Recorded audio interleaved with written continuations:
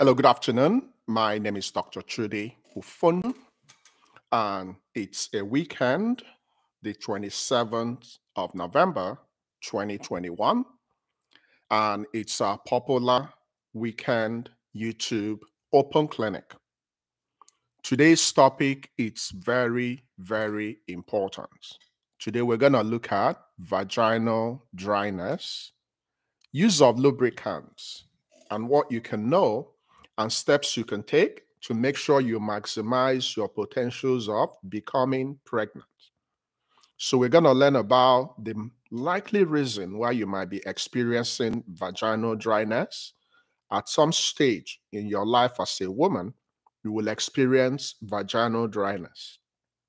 Now, that vaginal dryness might be natural, it might be a sign you might have hormonal imbalance. It can also be a sign of infection, but generally, Vaginal dryness is not unusual, it's not uncommon, especially as you are getting older.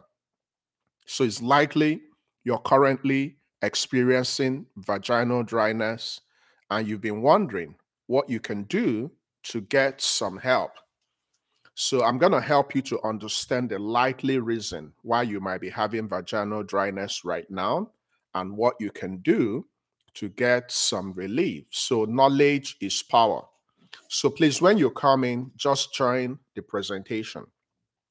You see, the vagina, it's a very, very, very special organ. So this is your vagina. Okay? So the vagina naturally, it's empowered, is equipped with hormones, with structures that will get the vagina ready for the role of procreation. Your vagina is used for three purposes.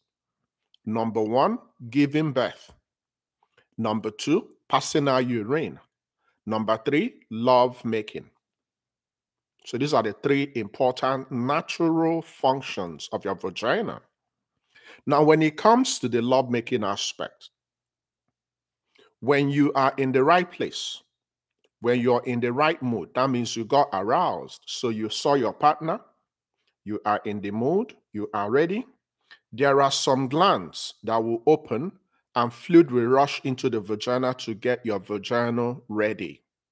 So every woman still within her reproductive phase of life is expected to have moist, wet vagina in course of planning for sexual intercourse. Now, there's an important hormone which elaborates the fluid, which helps in keeping your vagina moist. It's called estrogen. Now, by default, for every woman, the level of your estrogen is not going to be the same. So, as you're getting older, your estrogen will be reducing. So, the more you are getting older, the fewer estrogen you have, the more the likelihood you're going to be having more frequency of vaginal dryness. So the level of dryness you might have now in your 40 might not be the level of dryness you will have when you're 50.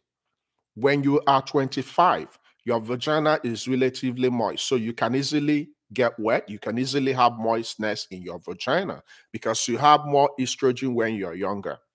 So vaginal dryness, it's mainly experienced by women naturally as they are getting older because of reduction in estrogen. Now, when you have vaginal dryness, what are those things you can do to give yourself some relief? This is where your lubricants can come in. So, lubricants are special gel chemicals that some women put in their vagina to aid in creating a moist environment, especially during sexual intercourse. Now, together with that vaginal dryness, some women, when they are getting older, they will also notice depression in their libido. Libido is your ability to have sexual urge to engage in sex with your partner. So, when some women are experiencing dry vagina, they will also notice reduction in the libido, reduction in the urge to make love. And this is a red signal, especially if you're planning to start your family. Now, when it comes to lubricants, not all lubricants are helpful in regards to starting your family. If your purpose of using lubricants is just to enjoy your sexual intercourse, you are not interested in making babies, it's okay. You can use your KY jelly, you can use anything that it's friendly to the vagina. But if you are intending to start your family, if you are intending to become pregnant, there are some vaginal lubricants you have to be very careful with. This is because those vaginal lubricants can have adverse effect on the sperm. Remember that the sperm is very, very sensitive. For the sperm to get a woman pregnant, it must pass through the vagina, get to the cervix, get to the womb. So when you are using some lubricants, they might create a barrier. Some of them might contain what we call spermicides. Spermicides are chemicals that kill sperm. So it's not all lubricants that are safe for women that want to start their family. So if you want to start your family, please be mindful the type of lubricants you use. It's not every lubricant you should use, including your water and saliva. Your water and saliva are not friendly when it comes to fertility because of the acidity in the saliva, because of the nature of water. They will not aid in the process of getting a woman pregnant. There are some few lubricants that will help you to become pregnant. So those lubricants will play two roles. They will help to make your vagina moist so that in course of lovemaking, you will not feel pain, you will not bleed, you will enjoy it. Then the possibility you're gonna have, gonna have an orgasm is high. When you are doing that, they will also aid the sperm. Cervical mucus ordinarily helps to nurture the sperm and make sure the sperm is in a good place. So the few approved fertility friendly lubricants are the only ones you should use if your aim of dealing with vaginal dryness is to aid your becoming pregnant then you need to be mindful there are a couple of them you can use then there are some you cannot use because they will not help you number one the popularly recommended lubricant fertility friendly lubricant that's a lubricant that will help you if you're planning to become pregnant is what? Pre-seed. Pre-seed. So I want you to take note of the name. It's globally available. If you're in Nigeria, you can go to your online shop. You can order pre-seed. You might not have it in your pharmaceutical shop, but pre-seed is sperm friendly. If you don't have pre-seed, you can also use another type of lubricant we call Conceive Plus. So pre-seed, Conceive Plus are healthy. They are helpful. They will help the sperm. They will make sure you are pregnant naturally if other factors are constant. Now, in some situations, if you don't have the wherewithal to go for pre-seed or conceive plus, you can use mustard oil. Mustard oil. It helps in motility. Now, the most important factor in the sperm that will get a woman pregnant is what? Motility. If you have the best sperm in the world and you deposit them in the vagina, but they are sleeping in the vagina, you will not get pregnant. So we want majority of the sperm to be motile to be fast runners so that once you deposit it in the vagina, they will pass the cervix, they will get to the womb, they will they'll begin to go to the tubes. The sperm must get to the tubes to get the woman pregnant. So pre-seed and conceive plus. And in some situations, if you don't have the money, you can go for mustard oil. Some people can also use canola or plain baby oil. Plain baby oil. These are improvised lubricants. Listen to me carefully. The ones you can get that will work is pre-seed or conceive plus. In lieu of pre-seed and conceive plus, because sex do not have a timetable. You can have it anytime. You might not be in the mood. Your partner might be in the mood. And before you blink, you've had it. Now, if you want to increase your chance, and probably you haven't ordered your pre-seed or conceive plus, if you have plain baby oil or canola oil or mustard oil, you can use them. They are good options. Now, please, if you are using them, Be careful. Some women have very sensitive vagina. They can react to baby oil, they can react to any other oil. So be mindful of your vaginal environment. Women have different types of vagina. There are some women that react to condoms. There are some women that react to sperm. There are some women that react to anything that has contact with the vagina. So if you are in that category, be mindful.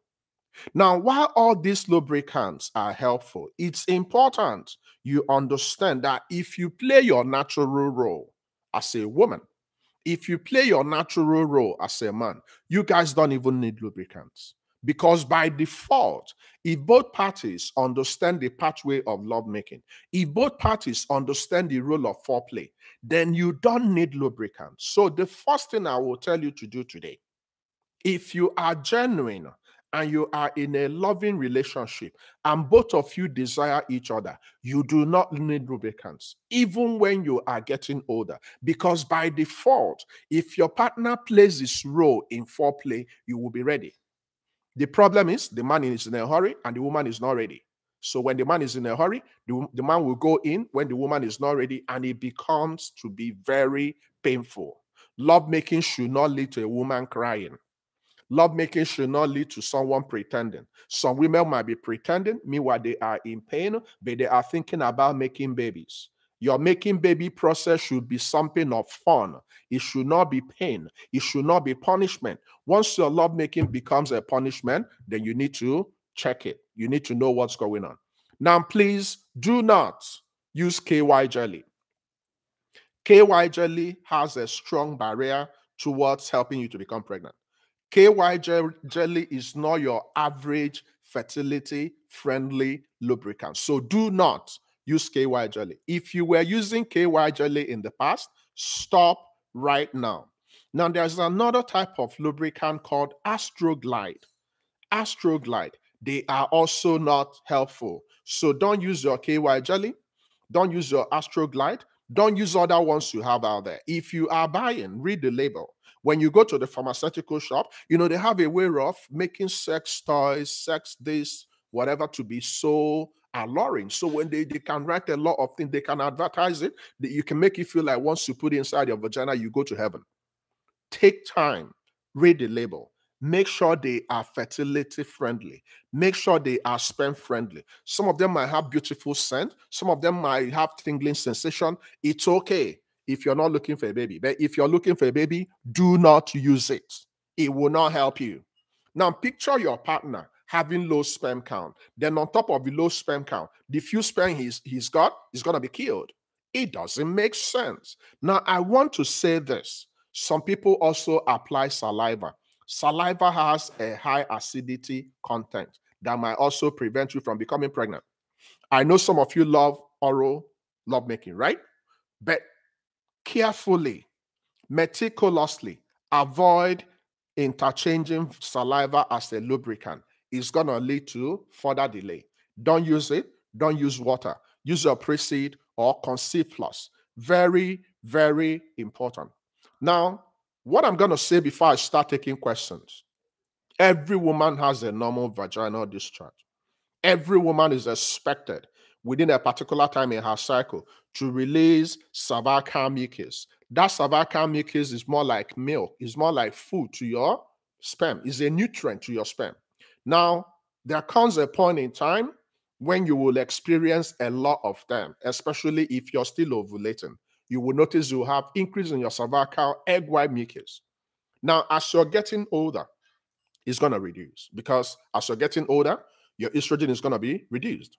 Every woman is going to experience this. Now, there are a couple of things you can do by yourself to help yourself to be in a good place. Don't help your vagina in any way. Don't put any foreign thing in the vagina. Don't put any sand. Don't put anything. I know they might be selling you a lot of dummies. Some of them might tell you to put food items. Some of them might tell you to put so many nonsense. Some of them will sell you put this, put that. Do not help your vagina. Your vagina can play its role. The only thing your vagina needs is clean water. That's the only thing. Remember, there's a difference between the vagina and the vulva. The vagina is not what you see externally. The vagina is that opening. You have to open that cylindrical structure before you can get to the vagina. So please be mindful when you're using lubricants in treatment of vaginal dryness. If you use the right one, it's going to help you to become pregnant. Okay, so I'm going to take the questions from the clinic and uh, we can go for the evening. So please, if you have questions, feel free and ask about now. In the next 15 minutes, I will address your questions in real time. The clinic is open. Go ahead and ask your questions now.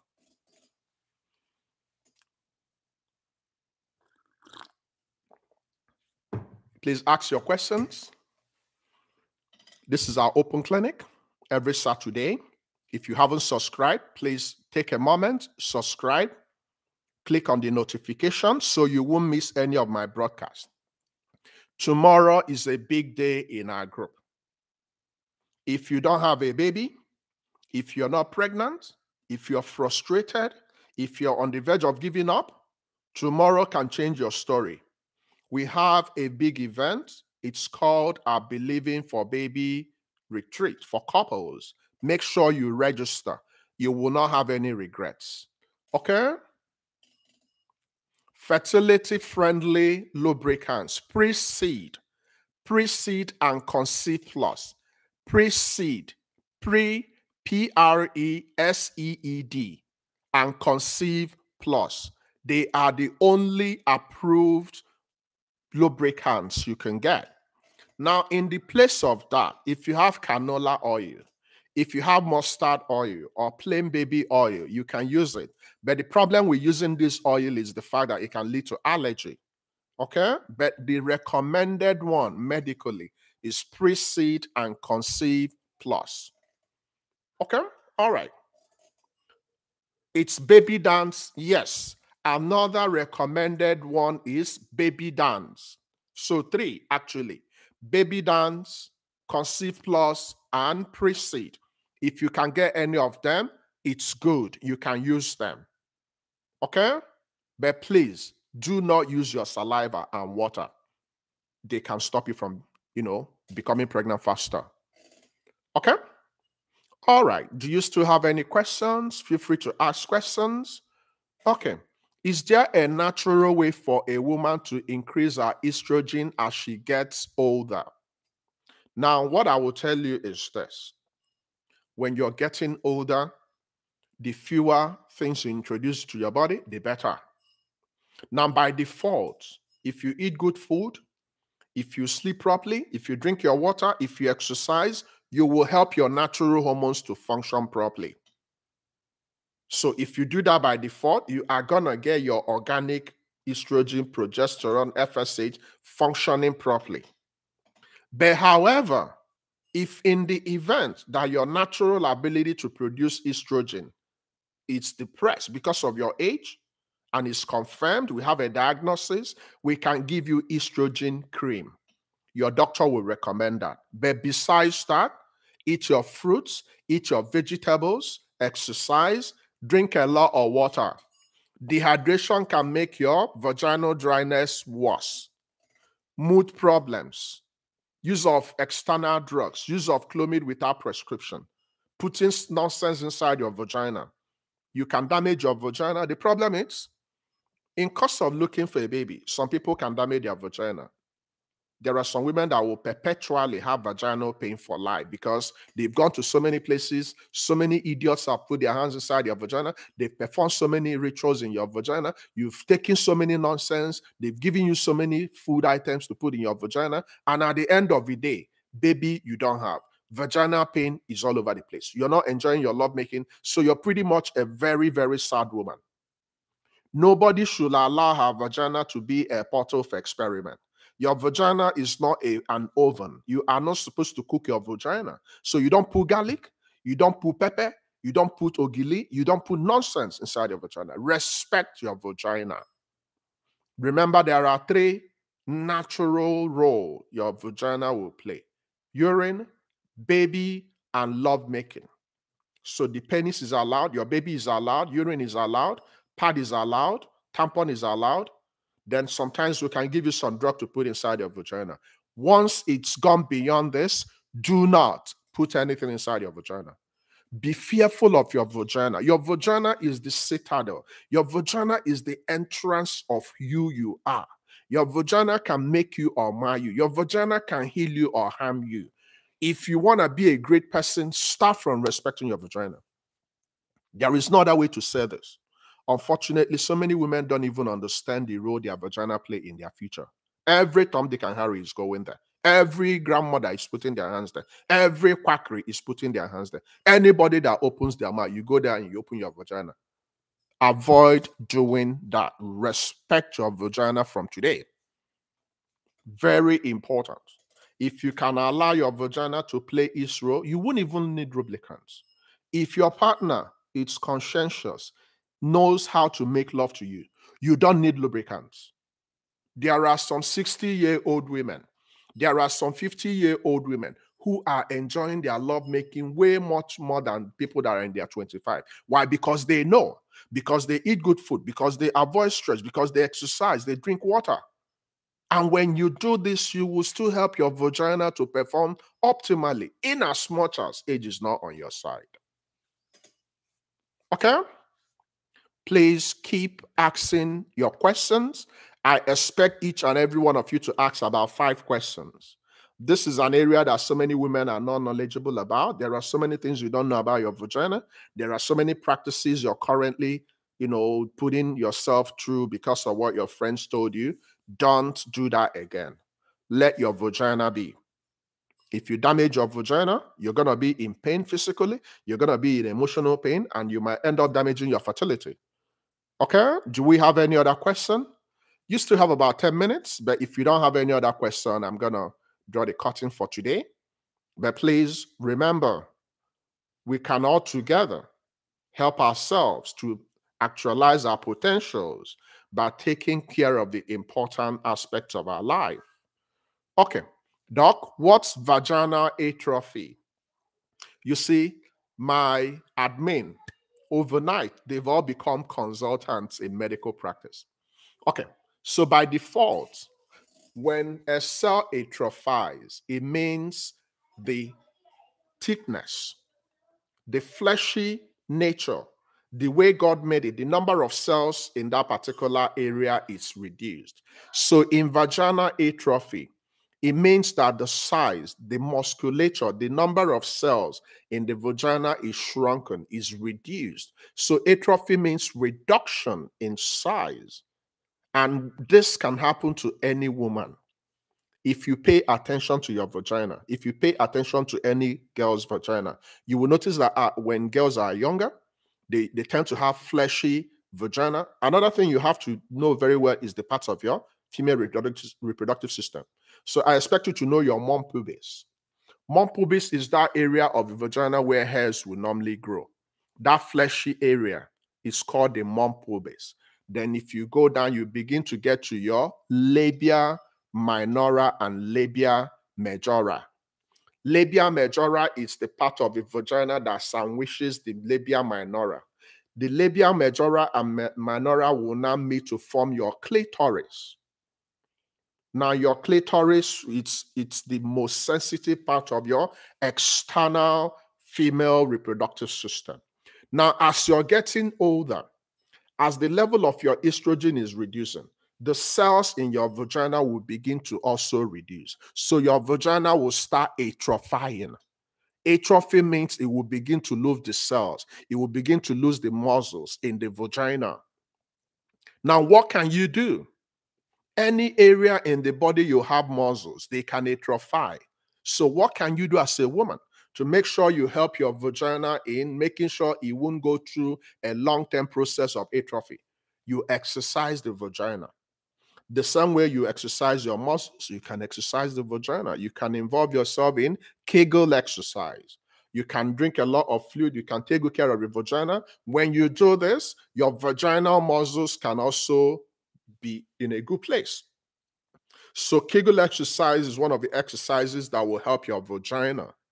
When you're exercising the vagina muscles, you're increasing the level of blood supply to the vagina. When you increase the level of blood supply to the vagina, you are increasing the immunity. You are protecting the vagina from developing any infection, from developing any inflammation.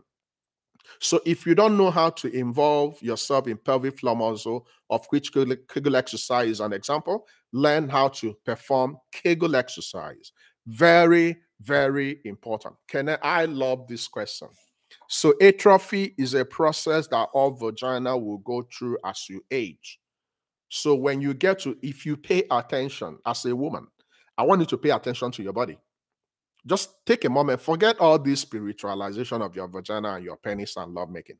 Just be in the now. When you go back today, study your body. Strip yourself of all, of all articles of your clothing. Take a good look at yourself in the mirror. Pay attention to your body. You will notice that as you're getting older, there are some aspects of your body that will be changing. The vagina is part of it. Now, some women will also notice that as they are getting older, they will begin to develop gray hairs in the in, in the pubic hairs in the vagina. It's expected, it's natural. It doesn't mean you have cancer. I actually have one client that came in, she was freaking out. Oh, doc, I suddenly noticed gray hairs in my vagina. Is that cancer? Uh, and I laughed myself off my seat. It's expected. If you notice, I'm growing gray hairs, some you know, around my my mustache and my beards. It's expected as you're getting older, your hairs will start changing. Matter of fact, I'm actually looking for someone that will help me to grow completely gray hairs because I, I learned that if you have it, it means you're to have a lot of money. Okay? So just let your vagina be that going through the normal process. Okay? So please, if you have other questions, ask. We have we still have four minutes and I'll provide you feedbacks. If you haven't registered for the event tomorrow, I am practically giving you a lifeline. This might be the opportunity your family needs to break the backbone of infertility. Invite your husbands, invite your boyfriends, invite your fiancé, whatever they are. Let's come together. Let's fellowship. We have three panelists. I will be there. Dr. Ndiche will be there. And our guest presenter, Dr. Dega, will be there. You do not want to miss this. We are getting into December. By December, we have a special event on the 31st in our group, a crossover clinic. A crossover clinic when all our members will come with their positive outcome and we give God the glory and we launch ourselves into 2022. So I'm challenging you today to take a bold step. You can still become pregnant in 2021. You can still make it happen but nobody can help you if you don't help yourself. So if you guys have hit that brick wall, you felt this is it. I want to challenge you to try one more time. Come, let's fellowship tomorrow. We are gonna crack the backbone of infertility. I have never been bullied by infertility.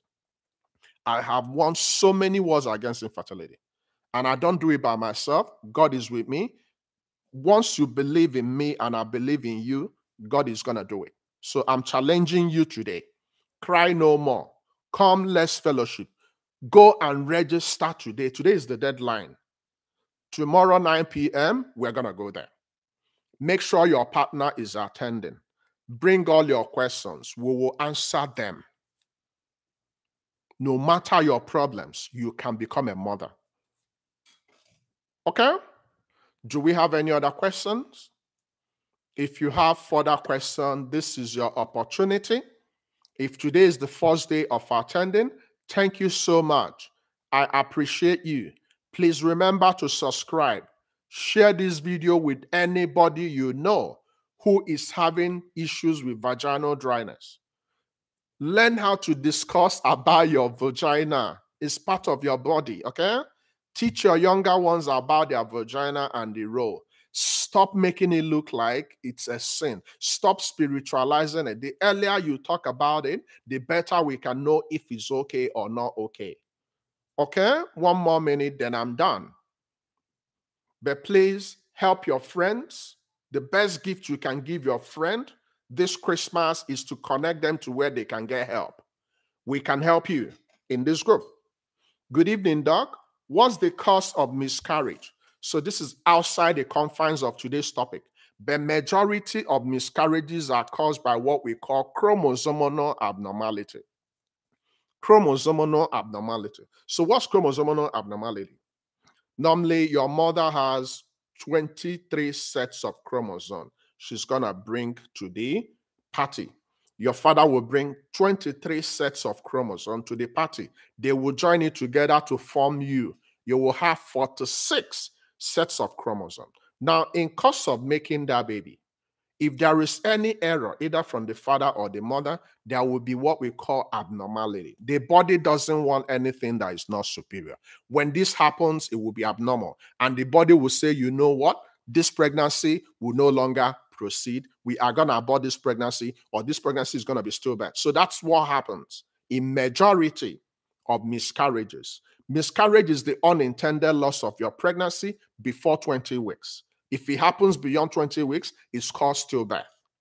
Now, there is nothing you can do about your chromosomal abnormality, but there are so many other factors that might likely lead to miscarriage we can prevent cervical incompetence, infection, inflammation, and any other factor that might likely lead us to losing a baby. We fix it. The ones we can't fix, we leave it to God. Okay? All right. My time is up. Thank you for coming. The next clinic will be on Tuesdays. So our YouTube clinics is on Tuesdays, 7 p.m. Eastern Time, US. Then on Saturdays, 6 p.m. Nigerian time. Today we actually postponed it to 7 p.m. because we had an event that clashed. So I appreciate you guys and I'll see you guys tomorrow if you are attending the retreat. If not, I'll see you guys on Tuesday. Until I see you, God bless you and enjoy your evening. Thank you for coming. Bye bye for now.